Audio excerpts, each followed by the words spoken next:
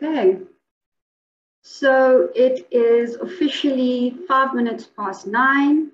Um, the rest of the Deloitte team has agreed that we should start at five past nine. Um, we'll allow other clients to join the call, but I think in it's a good time to start. Is everyone in agreement? Great. So good morning, colleagues and clients. Thanks for joining us this morning as we share the Deloitte Namibia COVID-19 survey. This survey is a third of its kind and it gives a comparative account of how Namibian organizations are responding to the COVID-19 pandemic. Thank you to all the respondents. I see Ritu has asked a question there. Landry, will you attend to that quickly? Thank you to all the respondents. Uh, we've received about 139 survey participants this year, and that's about 100% more than last year. So thank you to everyone that's made this particular report very successful. We have a jam-packed session planned this morning, and we hope the report and the webinar will be insightful. Accompanying me this morning is Rochelle Fryer, Valerie Hammond, Landry Lombard, and Chandra Janssen. Rochelle and Valerie will be co-presenting and are part of the Deloitte Human Capital team, but we will be talking to you from our homes in Windhoek and Johannesburg, respectively. Being virtual and always online is now one of the new ways we do things differently. Virtual is the new norm and it is here to stay. Yes, one of the greatest benefits of COVID-19 it is that it allows us to stay connected with colleagues and clients, but in a safe and different way. About 18 months ago, we would be hosting these events face to face, requiring a lot more logistical arrangements like flight tickets and visas, etc. Now we can do it efficiently by a click of a link. There is a silver lining. We have an exciting agenda lined up. Today we will be we, today will be high impact and very punchy, I promise. Rochelle and I will be taking you through some key highlights of the report, and Valerie, our special guest and future of work subject matter expert, will share the Deloitte point of view on hybrid work and with a future of work lens. During the course of the webinar, we will share a poll. Please do participate. Now for some housekeeping guidelines. In order to make this webinar as seamless as possible, please make sure you are logged off and have closed all other live streaming platforms. Today, you are viewing the webinar on our dedicated Deloitte Zoom platform. If you are experiencing any buffering issues, please refresh your page. Alternatively, restart your device or Wi-Fi router and look on and log on to the platform again. But most importantly, please ensure that you have closed all other communication tools, such as MS Teams, Skype, and other Zoom meetings. We will be recording this session. During the course of the morning, we are going to engage you on the most recent COVID-19 flash survey results, unpacking the impact of COVID-19 on the employee experience. Last year disrupted everything, and this year is equally as tough at a personal and a professional level. My takeaway is we need to change our approach. As, as with any form of turbulence, the world's response was to try and make sense of everything that's happening, with the objective to mitigate risk and ultimately come out stronger. Today, we hope to provide a comparative account of how organizations, local organizations, are managing the pandemic while zooming in on the employee and employer relationship. As a result of the turbulent times we face, there has been a definite impact on the current work practices. Despite the unique nuances each of your organizations hold, our data suggests there are key similarities in the challenges we need to solve. One of the major discussion points is leadership's stance on leveraging near-term strategies that supports the novelty that the world will return to normal or pre-COVID business as usual, are challenged by the need to find a middle ground for the demand for remote work and, and flexible um, and flexibility. We hope today sheds light and inspires you to think and imagine new approaches when addressing the very real opportunities and challenges COVID-19 creates for Namibian organizations. As Peter Drucker famously said, the greatest danger in times of turbulence is not the turbulence itself, but to act with yesterday's logic. What dated logic, protocols, policies, and philosophies is your organization pushing in the attempt to navigate a very new world of work as we start prepping for the post COVID workplace? Let's jump into the results. The demographic results, as indicated on the graph, shows a nice increase in industry variety this time around. In terms of industry representation, new industries joining the respondent pool in the survey is the broad healthcare industry, regulatory services, religious institutions, agriculture, as well as a real estate investment. This year, with the largest rep represented industry is the financial services with 35%, followed by other 17% and professional services 14%. Finally, we have a good mix of large and small employers based on their on, on headcount. What does it mean to return to normal or to pre-COVID working arrangements for you? And is this the right approach for your organization? 39% of Namibian organizations that participated this year are operating on the premise that they will return to normal. Is this possible? Based on our human capital global research, a survival mindset views disruption as a point in time crisis to be addressed with the expectation that the organization will revert back to business as usual once the crisis is over. Organizations with this mindset, or rather leaders with this mindset, aim to deal with the reality that the world imposes. It's about doing what's necessary to succeed today. In our study, we learned that organizations that were best prepared for the pandemic were already adopting a thrive mindset of using disruption as an opportunity to propel the organization forward, using technologies to transform how, where, and by whom work gets done. Is your organization capitalizing on the disruption that the pandemic brought about, or are you merely surviving? From some recent interactions with local clients, some have already returned to pre COVID working arrangements. For example, a local wholesaler and retailer have made small changes to their work shifts during the lockdown and have recently formalized their work hour policy to curb infections. Despite that, nothing has really changed for them. While other organizations in the financial services specific has used the pandemic to leapfrog their digital transformation strategy and journey, planning for improved automation, and possibly looking at workforce planning for the digital world. As you can see on the donut, most of the respondents, 39%, are operating on the premise that they will return to normal. 34 believe there's an ideal opportunity to redefine, reimagine business models, people practices, and operations. Participants that responded with other said that their organization has already been redefining or reimagining its operating model prior to COVID 19. In my discussions with a client over the past two weeks, both wholesale and financial service industry clients have said that they organize that their clients spending behavior hasn't changed since the pandemic. And therefore, a radical move to remote work or virtual working doesn't make sense for them. That's a good point. I quote The Namibian market loves cash, and therefore the need for bricks and mortar branches or retailers remains competitive. Yes, a number of local companies have successfully implemented flexible working arrangements and updated their policies. But it would be erroneous to apply a blanket statement or an approach that all companies and industries in Namibia have made major shifts to a more digital or online way of, work, of operating. Clearly, many Namibian companies have seamlessly reverted to, to pre COVID operations with some extra attention on safety and hygiene. But what strategic choices is needed to thrive in the unexpected future? Let's talk about business continuity.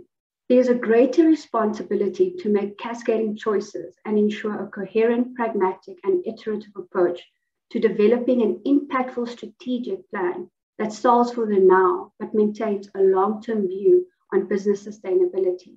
Nearly 50% of respondents updated old business continuity plans and 33% developed new plans. During the pandemic, leaders have been challenged with the need to protect their employees while maintaining essential operations and response activities. Organizations need to continually shift gears and embrace the VUCA, the volatile, uncertain, complex, and ambiguous world we live in.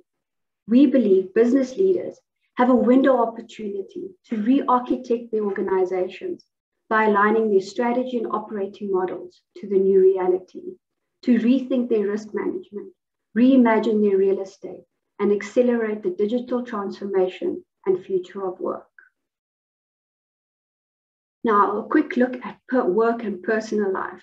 I personally believe in blending work and life, but since COVID 19 hit um, March 2020, I found it difficult to switch on and switch off because work and personal life all happens in the space that I am that I'm talking to you from today. But the majority of respondents indicated that their organization has implemented additional strategies to balance work and personal life during COVID 19. Unfortunately, there are industries like tourism, retail, and healthcare that have experienced greater challenge as a simple remote working arrangement could not be adopted. Interesting enough, some respondents elaborated that their employers adopted a more flexible approach with regards to where work gets done and they introduced rotation schedules to minimize the exposure to the virus and ensure business continuity. As Deloitte, when the when when the pandemic hit, we could quickly just put our laptops in our bags, rush home, and it was business as usual for us.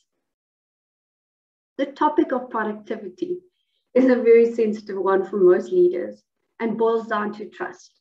Trust shows up when psychological boundaries exist the graph shows that a combined 81% of organizations have 0 to 30% of their employees working from home, but who are unable to fulfill their duties from home.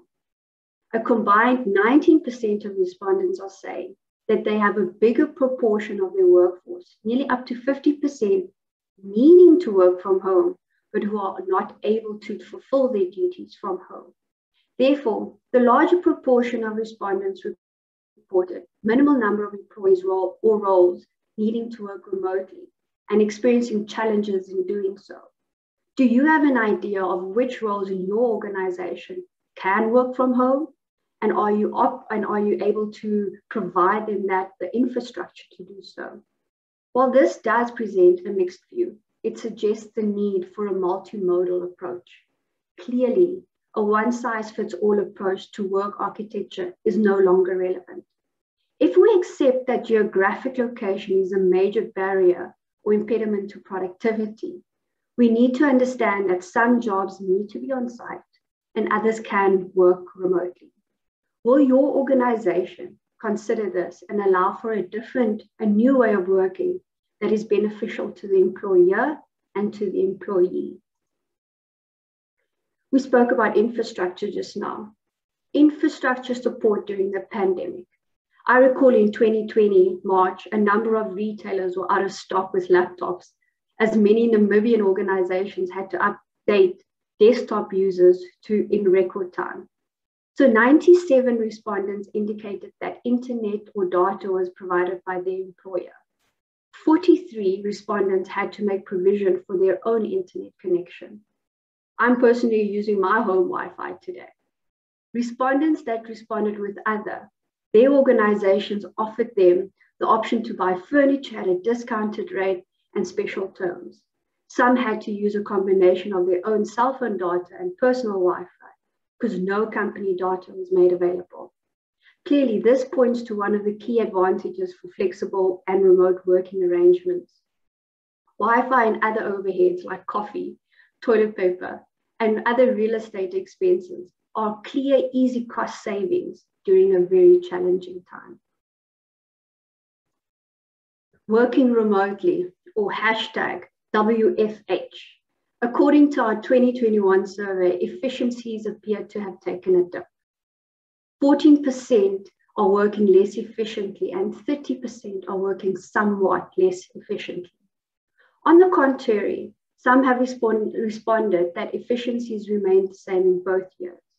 In 2021, collectively, 28% of the respondents reported that performance levels are leaning towards efficient and more efficient. Outcomes based performance management practices is a driving force for WFH. If your organization was already struggling with embedding a performance management culture before COVID, this has definitely been highlighted during these tough times. If your organization's culture was negative before COVID, the pandemic has definitely made it worse.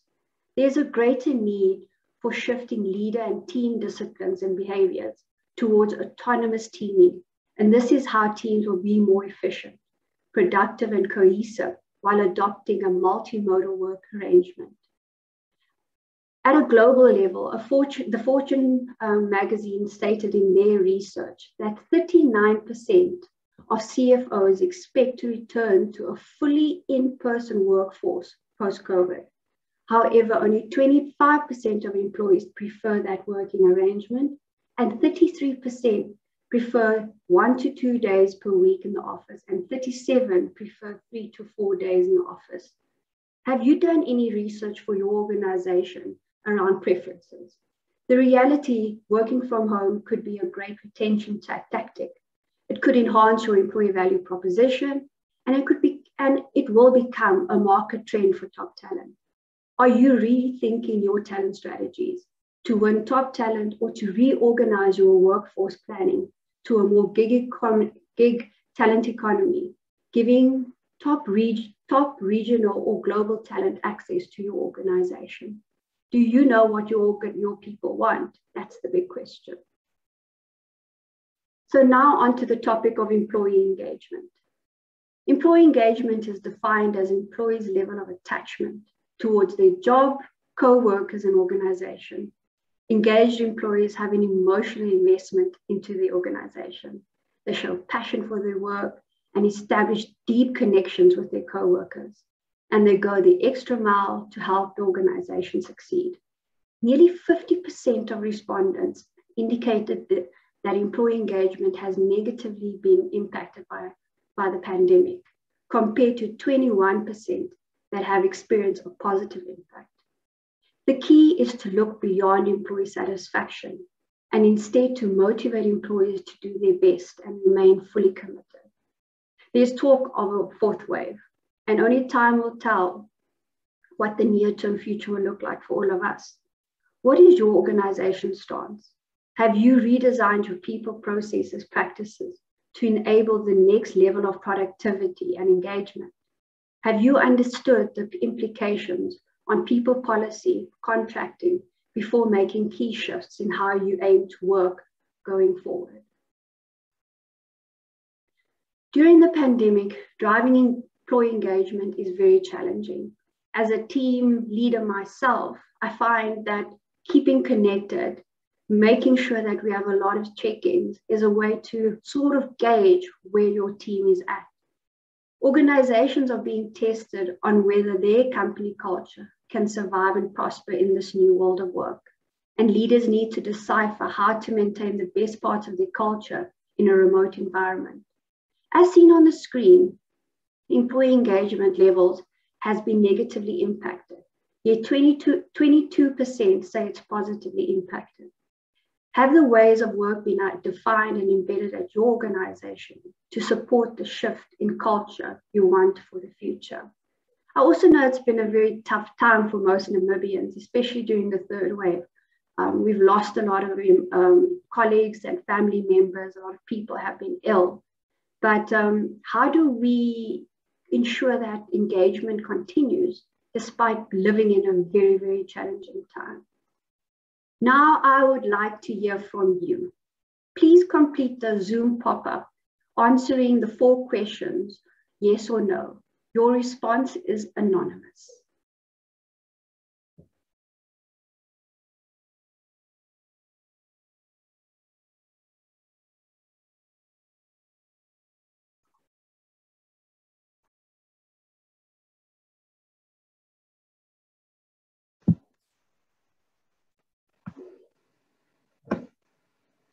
Great. We have one participant. Okay, we have two, 20%. There you go. Thank you, everyone. So at the moment, it looks like there's a very strong yes in the first question. Very strong no. Okay, well, there's another yes, so that's shifted. Interesting. Okay. So there's actually no clear winner in, in any of the questions. Very interesting. I will share that soon. Okay, so we have 80% participation. We're just waiting for two more people. And then we're done with the poll. So at the moment, question one, do you think organizations will have to adopt new employee engagement initiatives? There is a 75% yes. Interestingly enough, question two is equally divided between yes and no. So do you think leaders in your organization are ready to embrace new hybrid work models? It's a 50-50 split. Same for question three. So is your organization considering applying a blanket or one size fits all approach when planning their return to workplace approach? As well for question four, Okay, so it's also 50-50 on do you think vaccination should be made mandatory by employers? That's an interesting statistic. So um, we're just waiting for two more people to participate. Okay, there's one, thank you. So just one more. And that shifted a little bit, so that's interesting to see. Okay, so we're almost done. Thank you, everyone. I will share the results soon.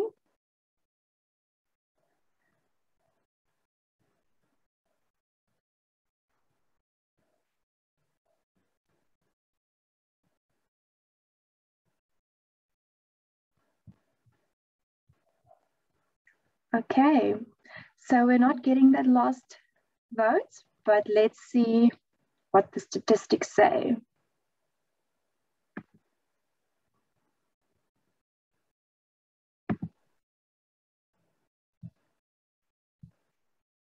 Okay. So let me know, Priscilla, if you can't see them all. I'm not sure what it's looking like on your side. I can see them. Thanks. I'm just reading through them quickly. Perfect. Okay, so there's an interesting shift there that happened with that last one.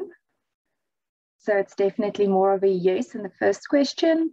Definitely a new engagement initiatives. Oh, sorry. Do you think leaders in an organization are ready? There's more of a lean towards no, probably not.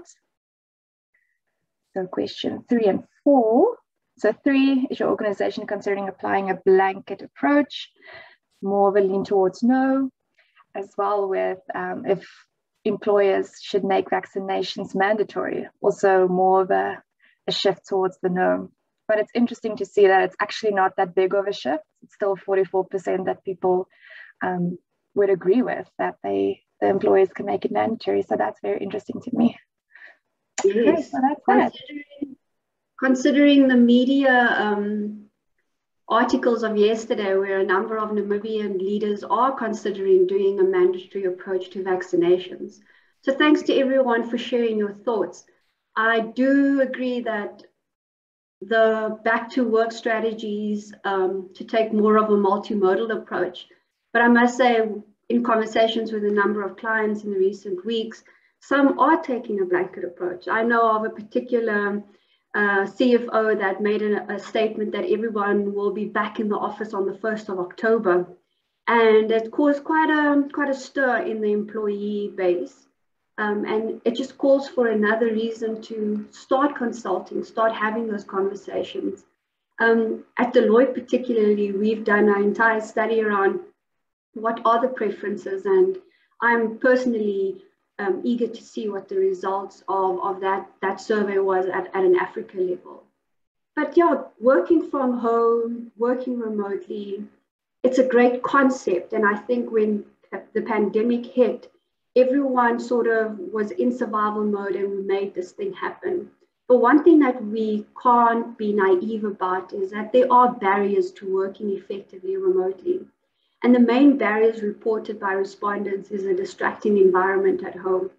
And I think the disruption in the national school calendar um, forcing a lot of us parents to homeschool was one of the biggest distractions for, for me personally.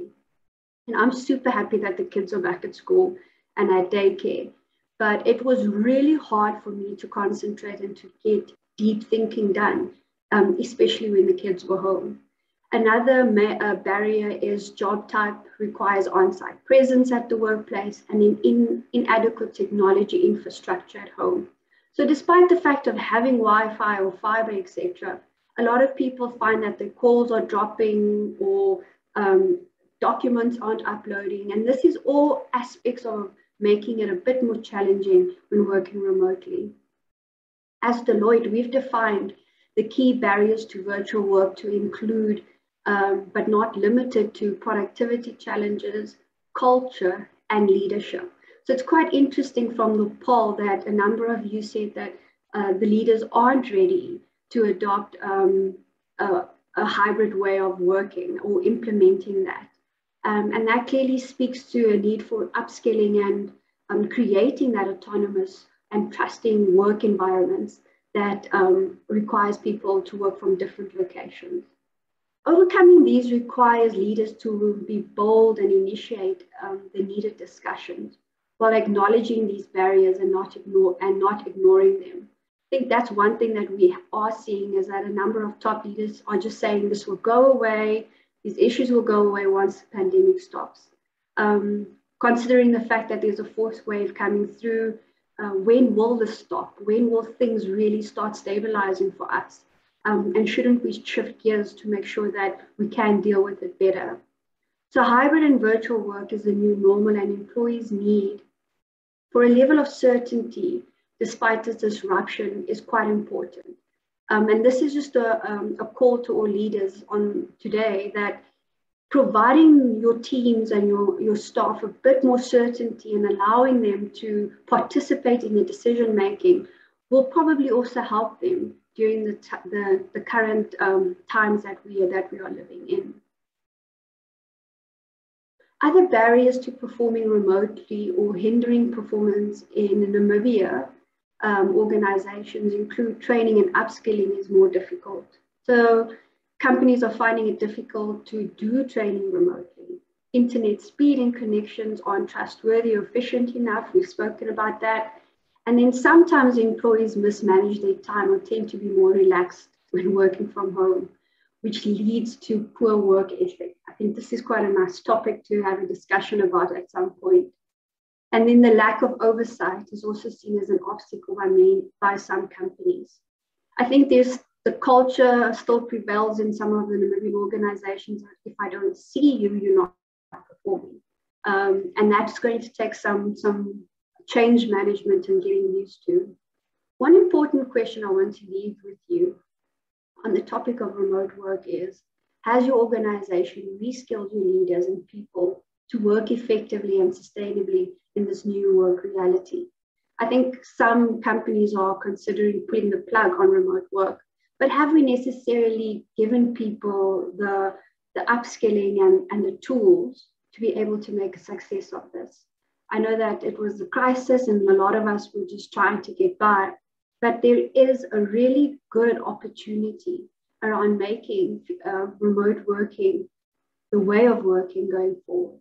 We've seen some of our clients make rush decisions around compulsory on site working directives, and it appears to be backfiring because employees have become accustomed to the flexibility and they prefer it. We have seen that when doing deep thinking tasks, for example, writing a report or doing analysis. But personally, me preparing for this particular webinar, being home is more advantageous than being in an open plan office at Deloitte and having everyone come and talk to me while I need to concentrate. Whereas we have seen that when you need to collaborate or allow for some kind of creative brainstorming, in person or face to face is way better. So it's really about not just looking at who works from home and who doesn't, but maybe taking, a taking some time to find out what type of tasks as a team should we do in the office and which ones can be done remotely. For most HR professionals, leave allocation was a major challenge during the third wave with the rise in positive cases. I'm part of a WhatsApp group with a whole lot of um, HR champions across the Namibian um, market. And I think this question came up a couple of times. Hi, guys, what are you guys doing around leave? How are you applying this? I've also seen a number of clients doing mini surveys around what leave allocations and quotas are you giving and updated, etc. But as you can see on the, on the infograph, only 12% of organizations in this survey said that they've implemented new or, or additional leave types for the purpose of bereavement or for when employees need to take care of family members. The rest, 88%, did not implement any new or additional leave arrangements. The COVID 19 pandemic has placed additional stress and pressure on, on everyone. Fear, anxiety, loss, and prolonged sickness related to COVID has proven to be overwhelming, and work related stress during the pandemic has led to burnout. Managing both physical and mental well being is essential for employees, productivity, and overall engagement levels. Interestingly, some respondents shared that if employees run out of sick leave at their organizations um, and annual leave, the company uses something called a leave bank, where the other employees donated their leave, from which leave can be allocated to employees to avoid unpaid leave. Other organizations implemented five days of COVID leave, which expire if unused. Finally, some respondents selecting other indicated that they that employees are required to book leave from their annual leave quota. Let's hear from my colleague Rochelle now, who will share insights on the effectiveness of leadership during these very tough times. Thanks, Rochelle.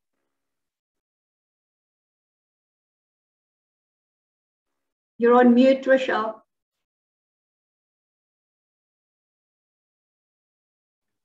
Thank you, Priscilla. Um, dynamics of navigating this new techno technological world. But thank you for handing over to me and thank you everyone who's joined this webinar this morning. It's great to have you all on this call. I'll be speaking to you a little bit about engagement and leadership support pertaining the COVID-19 pandemic.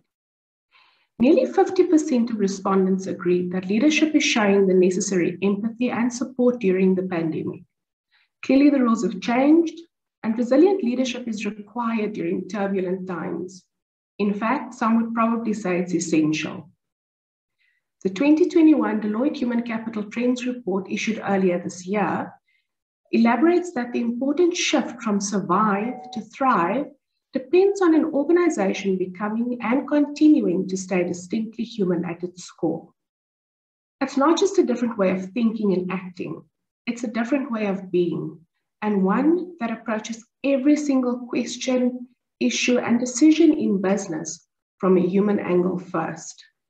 What is a Thrive mindset? It's a mindset that's really about perpetually cultivating things like resilience, courage, judgment, and flexibility to navigate turbulent times. And this resonates so well with what Daniel Pink said that the future will be driven by creators and empathizers.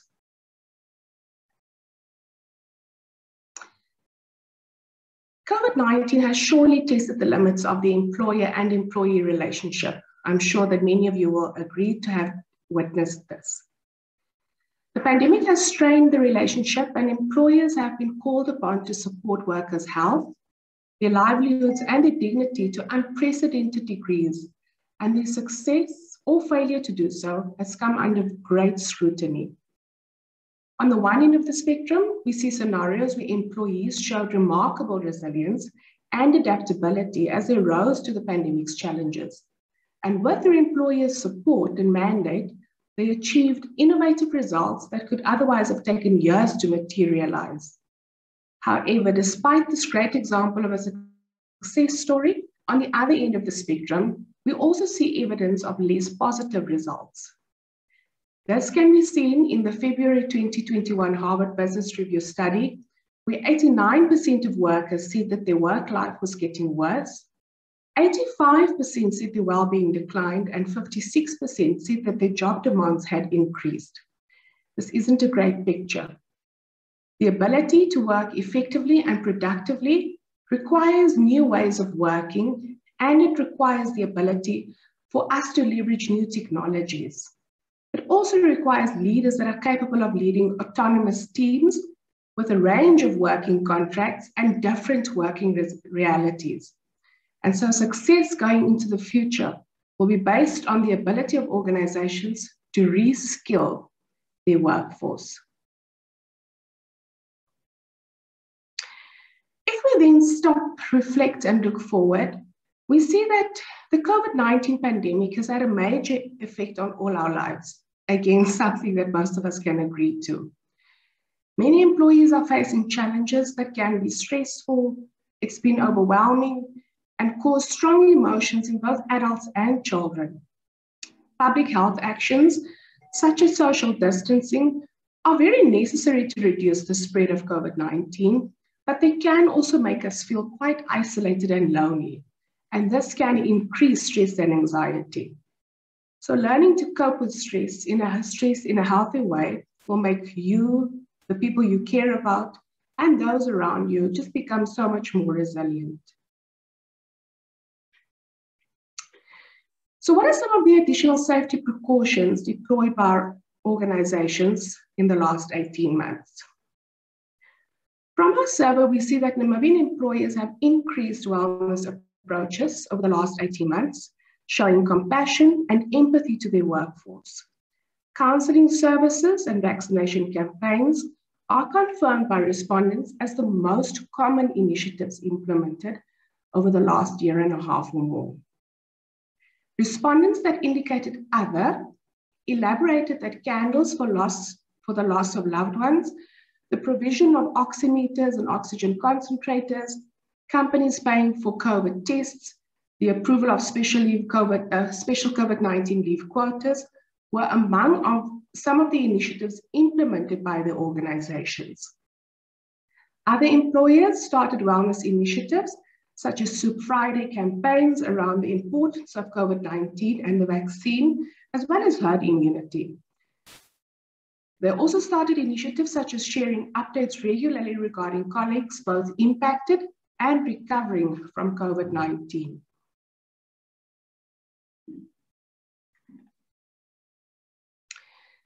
As indicated on this slide, what we see here is a collective 76% of respondents that agree that the leadership is really showing the needed support during the COVID-19 pandemic. We also see a minority group of 8% not experiencing that same level of support and 16% reporting a neutral view on this. We've seen COVID-19 bringing several complexities into play in the workplace, and the dynamics around the employer-employee relationship has been no exception to this. And so the question now becomes, what leadership behaviors, skills, competencies will be required to navigate this relationship in the future world of work, which lies ahead, or that is in fact already here. Finally, a COVID-19 survey wouldn't be complete without a view on the topic of vaccinations, something that Priscilla touched on slightly earlier on already. As we can see on this slide, the majority of respondents are encouraging, are encouraging employees to vaccinate. And in re recent media articles, Namibian leaders are leaning towards making vaccinations mandatory. This does, however, open up a whole new discussion around employee well-being, human rights, and basic conditions of employment. So a lot of food for thought that's left for us there. And with that, it's all from my side. Back to you, Priscilla. Thanks, Rochelle indeed a lot of food for thought around vaccines. I think that's that's quite the topical um, dilemma right now, um, considering everything that's going on in the media. But now I want to talk about something that's also a bit uncomfortable, and that's workforce planning with a specific look at retrenchments.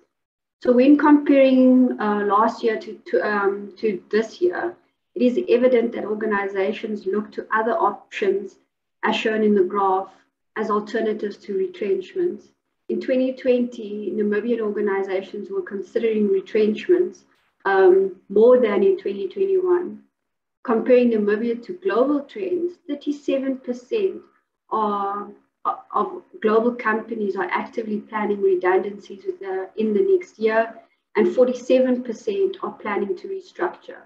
Only 36% are planning to redesign job roles to better suit remote or hybrid working. So it could be a, a bit of relief for a lot of people that retrenchments isn't the key focus for 2021. But I, um, but I do think that the economy is strained and a lot of us are taking, um, are pulling hard this year. But let's see how, how the future unfolds. Now I'd like to talk about money, money, money. Namibian organizations are adopting very different approaches to annual increase and bonus allocations. Just yesterday, I had a, a client from the financial services asking me um, around what are people doing? Um, what's the right way to do it? Um, from awarding salary increases and bonus for 2020 and 21 to zero salary increases and no bonuses for both of the years. So there isn't a one size fits all um, for, for this topic as well. Some organizations are continuing their bonus discussions and increased discussions, while others are implementing strict cost saving measures while weathering the, the COVID 19 storm. We have seen strict cost cutting strategies applied across organizations, which has resulted in additional social, economic pressures and challenges at an employee level who are already experiencing a very challenging time in, in light of the pandemic. It is worth mentioning some local manufacturers of essential and disinfectant products have experienced a significant increase in sales and performance due to the surge in demand for their products. I've, in, in a conversation last week, I've also learned that some local wholesalers have been in the fortunate position to open new retailers um, due to an increase in sales uh, um, in the recent months. So some industries are, are struggling, some companies are taking a more strict approach to how to, to REM and bonuses, whereas others are, are in a very fortunate position. So as you can see on the screen, um, there are some, some quotes um, from some, some of our respondents. But one thing is for certain that on average, bonuses and remuneration has been affected in both 2020 and 21. But reading these quotes quickly, what we see is that one respondent said, while the bonuses in 2021 will be impacted, we did receive a bonus in 2020, and there have been no retrenchments since the inception of the pandemic. Another respondent said, we are somewhere between 40 to 50% pay cuts at the moment. There are no talk of increases or bonuses. And then lastly, the organization depends entirely on government funding. Due to economic pressure and limited funding from the government in recent years, the organization has been allowed to implement, has not been allowed to implement any salary increments. So this is quite an interesting topic. That last respondent um, is obviously from our government or, or, or SOE representation. And we all know that they are the largest employers in Namibia. And the fact that they haven't received an increase just shares um, shed some light on, on how tough things really are at an individual level for, for the average Namibian. So let's have a look at flexible working arrangements during the, the pandemic. If anything, many Namibians associate the pandemic with a unique opportunity to work remotely. All employees, obviously depending on the type of, um, of job that you do, was afforded a flexible working choice early 2020. Traditionally, this was reserved for more senior roles, highly specialized talent, and individuals that wanted reduced hours. During the pandemic, 83% of Namibian organizations adopted a flexible working arrangement. I'm sure this wasn't as easy, and there were a lot of uh, kinks and things that needed to be sorted out. But looking at glo- globally at a recent Bloomberg Wealth study, experts have reported concerns that future hybrid work will not, will not provide the flexibility employees have become accustomed to. How do we manage that at, a, as a, at an engagement and a leadership level? While 63% of employers expected to implement hybrid work policies in 2021, fewer than half plan to expand flexible work schedules. What does a sustainable flexible working arrangement look like for your organization? Um, at Deloitte, if I can just share a little bit, um, because we're in the consulting space and a lot of our work can be done um, on a computer, working remotely. I think going hybrid was is, is very is a natural approach. But I must say there are some leaders and some individuals that still prefer to see employees and to know that they're that they're working. But one thing that's that's playing in, in our advantage is that we've got a very strong outcome-based work and um, performance culture. So if you don't perform, you see it quickly. And this has really helped us to remain efficient and productive despite having a, a multimodal working um, environment. So formalizing the flexible working arrangement is another topic that a lot of Namibians are, are playing with or toiling with.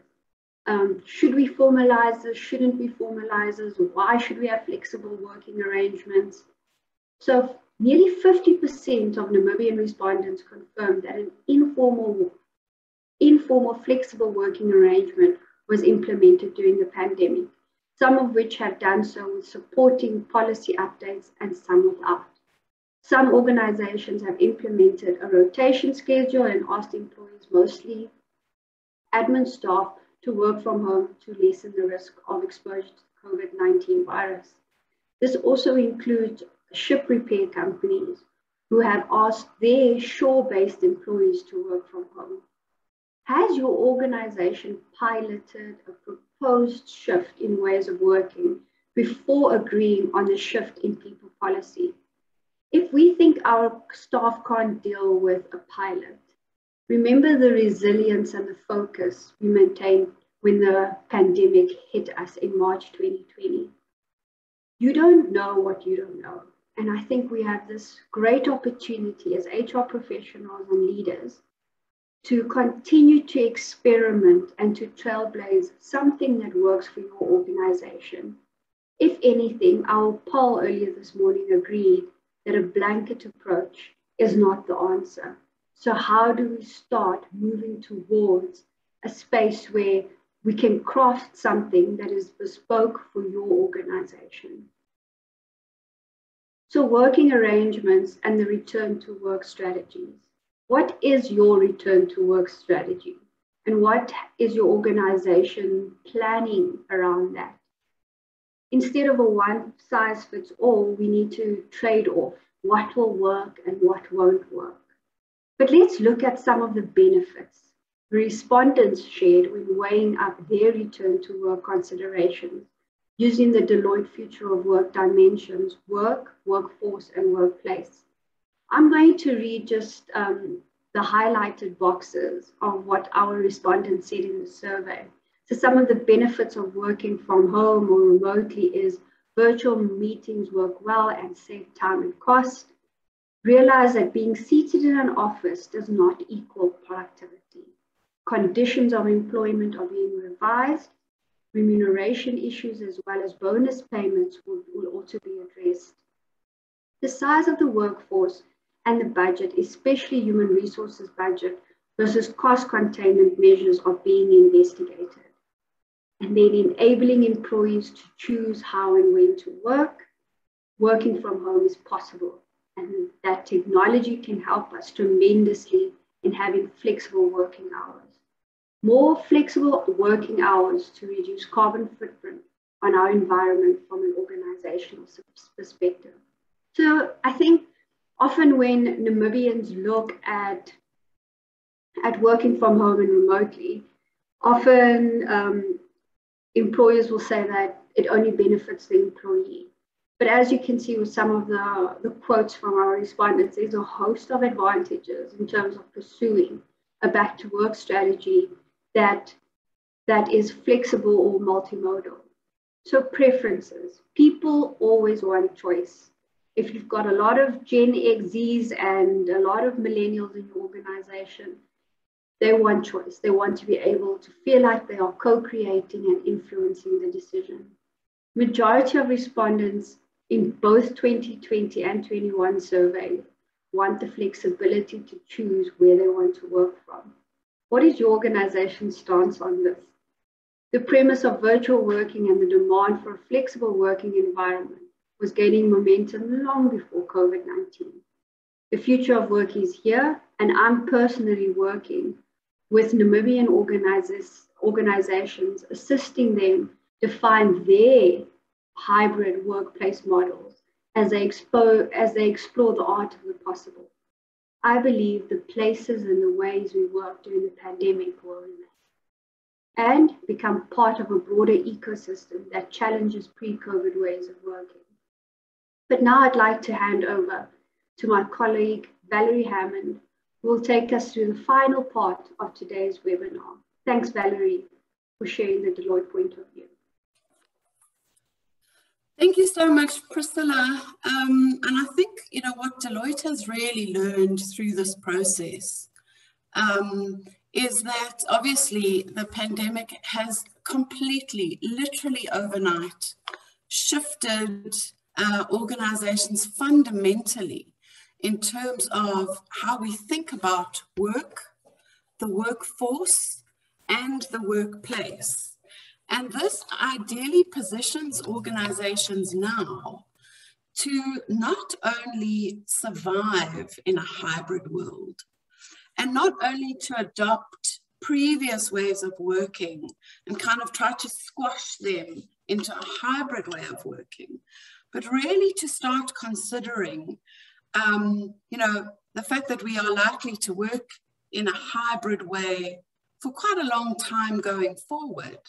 And how do we leverage this as an opportunity for the organization and not just a compromise for the organization? So, really moving from survive into thrive. Um, and what we've learned, and the, um, the clients that we're assisting with at the moment, in terms of helping them to shape their return to work approach, is that there are five key considerations that organizations have the opportunity to really leverage to uh, make working in a hybrid context um, an opportunity for the businesses to thrive.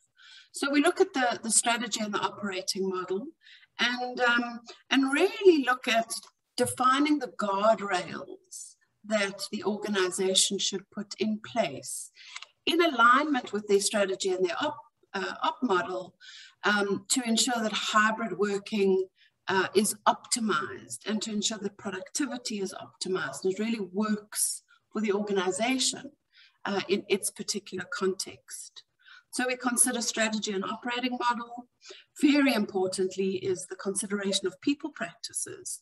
I think one of the lovely opportunities that, um, that remote working has brought us is the opportunity to engage different talent um, one of our one of our clients was talking about potentially using board members um, from across the globe and not just from you know from Namibia. Um, and then what are the implications of that? What are the tax issues around that? Um, and also, you know, another another great opportunity for organizations is to use hybrid um, as an appealing employee value proposition. So how do you use the opportunity for people to work in a hybrid and remote way um, as an opportunity to attract top talent? Because people find that very appealing. But then also there's an opportunity to customize some of the people practices to ensure that people are as productive as they possibly can be in a hybrid context. Then if we look at the right-hand side of the graphic, um, another key consideration is around risk, regulatory and compliance issues. So I mentioned tax, for example. You know, if, um, if you have employed somebody who's not resident in Namibia, what are the tax implications for their employment status? What are the issues around localization and skills transfer? So all of those issues, and, and also how do you mitigate and manage risk when you're broadening your talent pool or allowing employees to work from home? Um, you know, what are some of the um, issues around safety and security of data and information? So all of that needs to, needs to be considered. And another big one is the consideration around real estate. What do we do with our offices now? How do we make them, how do we make those spaces work for us? How do we use those spaces? And finally, um, very obviously, is the technology consideration. So absolutely making sure we have the right technology in place to drive productivity um, and customer service. So, you know, not to um, not to only focus on driving internal productivity, but also absolutely ensuring that our technology are, uh, ensures that we are accessible, we delight our customers, um, and that they feel as able to do business with us, in fact, more able to do business with us than they potentially did um, in a non-hybrid kind of real world context. I'm just very mindful of time, so I'm going to leave it there and I'm going to hand back to, to Priscilla. Thanks, Valerie. Thanks for the insight around how we as Deloitte um, tackle the, the back to work strategy uh, approach. Um, colleagues, we've come to the end of our, of our webinar.